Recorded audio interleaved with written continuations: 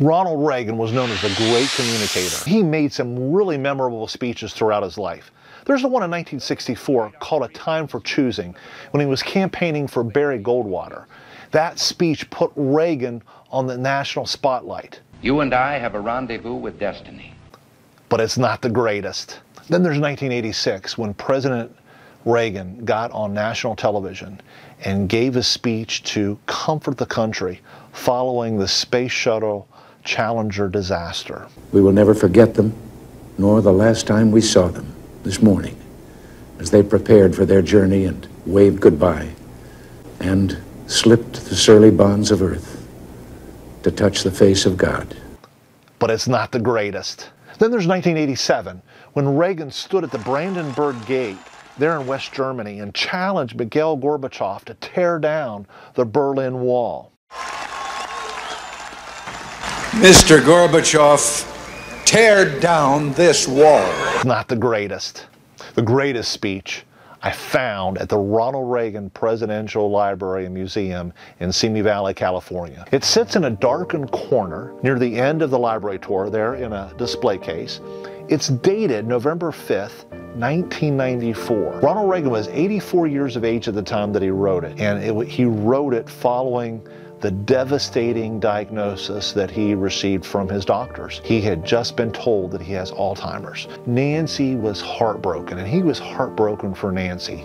We're told that Reagan slipped away into a corner table there and pulled out some stationery and began writing. I believe he began writing the greatest speech of his life. You can take a look at his black cursive writing. It's all jumbled together. There's no perfect margins. It fills two pages. It's 342 words. You know, Reagan had spent his lifetime as a wordsmith, studying words and phrases and learning the art of public speaking. And he, he learned that back during his early days in radio and then later on in Hollywood. He spent a lifetime collecting little tidbits, words of wisdom and phrases. And a lot of that he collected in these note cards that oftentimes made it into some of his speeches. But now, Reagan was just sitting there writing with just raw emotion, no filter, no speech writers. It's the greatest speech, I believe, because it was the hardest speech that Reagan ever wrote. It's very, very authentic. Now stop and think about the fear and the anxiety that Reagan had as he sat and, and wrote that letter. Reagan is very candid in that letter, and he talks about the effects of disease and the effects that it's going to have on his loved ones in the future. And yet, he talks about his love for his country and his optimism of its future. That's so classical Reagan. He was the eternal optimist. But I also think this speech, in my mind, in my opinion, was the greatest speech he ever wrote because of the personal impact that it had on me personally. Just reading that handwritten speech, that handwritten letter, and listening to Reagan read it, it struck a very strong emotional chord with me. Now stay with me. I'm going to let you listen to and read that speech as I read it and as I, as I experienced it. But it struck a very personal chord with me because I have a loved one who is slipping away in their battle against Alzheimer's. It's hard watching your loved ones, uh, watch them gradually decline as they battle this disease. As Reagan put it, going into the sunset of their lives. Here's a portion of that speech listen to it and, and follow along very carefully as Reagan reads it.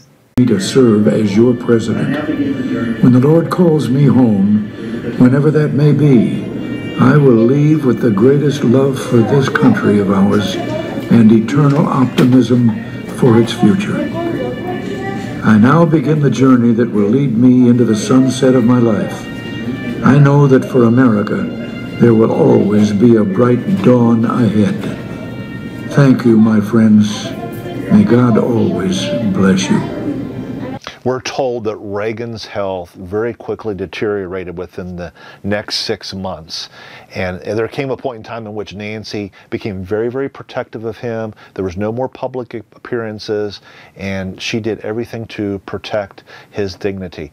Reagan lived with Alzheimer's for another 10 years, and he passed away on June the 5th of 2004. If you haven't read that speech, yet, you need to check out the link that I provided in the show notes below. It really is a very touching speech. As we were exiting the library and walking out to our car, we came across a rattlesnake right there in the bushes that uh, align the, the walkway out to the parking lot. Now, there are signs all around the Reagan Library that warn visitors that there are rattlesnakes that are there that's part of the natural habitat. And a library official came out and removed it. No one was ever in any danger. I was never in any danger, but it did surprise us greatly. What do you think is Ronald Reagan's greatest speech? Was it one of the ones that I mentioned earlier, or do you have one that you think is Reagan's greatest? I'd be curious. Why don't you drop a comment below? Let me know what you think. If you've gotten value from what you've watched today and you've learned something, hit the like button for us. And if you haven't subscribed to our channel and joined our Prez Politics family, hit the subscribe button now.